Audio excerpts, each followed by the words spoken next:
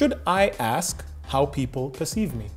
Yes, you should, because how people perceive you is actually that's in in a simpler way, and to put it is it's, it's feedback. Feedback. Feedback. But Yeah. you know, that, and and I can already hear Yeah. people asking, you know, Do I need I, feedback? Do I really need do, feedback? And do I want to know what the feedback oh is? oh my God, I want No, to you know. I don't want to know what the feedback know. is. No. Why is it important to get this feedback? If you remember in our earlier um, episodes, we talked about doing a SWOT analysis on yourself and know Yes. what your strengths, your weakness are, opportunities and threats. And it's always also good to know as a brand, as you're progressing, you need to get feedback so you know what's working, you know how And you're communicating and what's not working, right? And what you can improve on. Um, and feedback is good in whatever aspects you are, whether you're a manager, senior manager, junior manager, an intern, then you know what you need to work on to improve. Because we are not perfect. Even we as image consultants, we're not perfect. right. So we also get feedback from our clients like, you know, maybe we could do this better in the next training. You know, feedback is important. Every individual on this earth needs feedback. Now, my question is most people are allergic to feedback Yes. because no one wants to hear bad things about them Yeah. no, themselves. No one wants to be criticized. Yeah.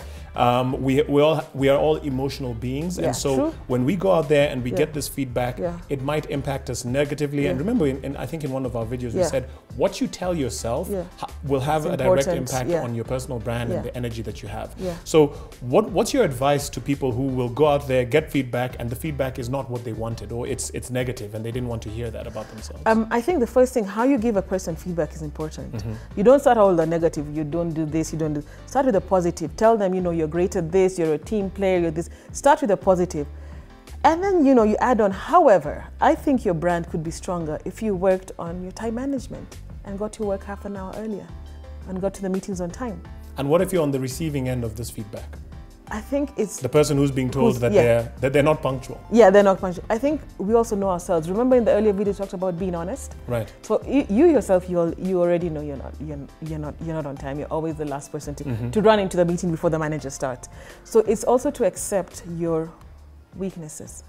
Connie, now them, I mean it's it, it's very easy to say that. Yes, you know the, there people who will, will will push back on this video and Yeah. say, Yeah, but Connie, if I go out there and I'm really doing my best, Yeah. I'm trying my best, I'm putting Yeah. my personal brand out there, uh. I'm working hard, I'm following all the advice that you guys have told us in these videos. Mhm. But then when I go out there, people tell me, actually, you're doing it all wrong, you're not good enough, you're not this. The criticism It's a lot. is a lot and Mm-hmm. you know if, if there's anything to go by social media can be really really um, Tough. tough and detrimental streets to our mental Kenya. health Yeah, exactly. people will tell you all sorts of things there are Yeah. trolls out there Yeah. there are people who will give you negative feedback constantly All the time. there are people who thrive on giving you negative feedback Yeah. how do you deal with that and, and push forward um, uh, and, and persist with your personal brand First of all, um, you need to know yourself. Again, I always go back to knowing yourself.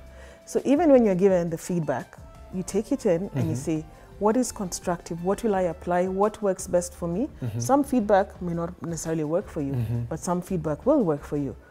So you just need to be able to decipher and see what will work for you and your brand and where your brand needs to be going, right? Okay. If you're trying to be a manager, right, and the feedback is from your senior manager, and you know you get back your feedback, you're always late for, late for meetings.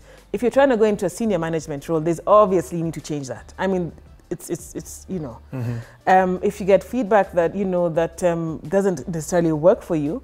Um, you know, for example, like you know, you're, you're not trying to be a manager and you come in late and it doesn't, and it doesn't apply to you. What about feedback from Yeah. juniors? What if your juniors tell you, look, as a manager, Yeah. you you you could do better in this and this and this. We don't feel like you're managing Yeah. us well enough. Yeah. How then how then do I do I react to that information? Then I'd ask them, what approach would you like me to use? How can I manage you better? What Right. you know, what steps or what implementations would you want me to put to help you, help yourself, right. yeah, and So- help your other team members? So what I'm hearing is Yeah. that's that's now communication because Communication. as soon as I get because we said communication is the process of sending and receiving messages Yeah. whereby two or more people get understanding. So I have to send the message Yeah. and then the message is is received and that receiving of the message is Yeah. the feedback that we're talking about in terms of should I ask people how to perceive me. Exactly. Okay. Yeah. So make sure that you you you get the feedback. Get the if you're the person if, if you're the person giving the feedback giving the feedback, get start with the positives. Start with the positives. Yeah, um, and then you know highlight you know where someone can improve. Exactly. And if you're on the receiving end of Yeah. this feedback, be honest with yourself. Exactly. Know who you are and know Yeah. that certain feedback should be taken in a in a particular way yeah. and that it is supposed to be constructive. The Yeah. one that is not constructive, Exactly.